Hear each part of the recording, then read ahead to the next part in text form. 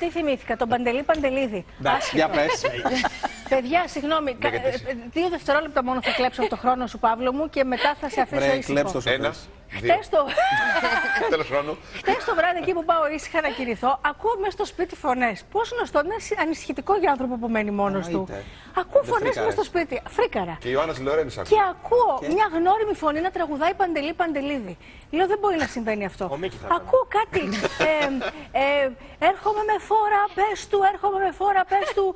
Πάμε στοίχημα, θα γυρίσει. Λέω δεν μπορεί να μου συμβαίνει αυτό. Και κατεβαίνω τα σκαλιά και βλέπω τον κουμπάρο μου, τον τζαλίκι, παιδιά. Μάσα το σωστό. Και έχει μπει στο, γυμνα... στο στο υπόγειο γυμναστήριο, κάτω, στο ναι, γνωστό. γιατί έχει κλειδί ως γνωστόν. Και έχει πάρει βαράκι και το κα- έχει κάνει μικρόφωνο. Και τραγουδάει Παντελή Παντελίδη.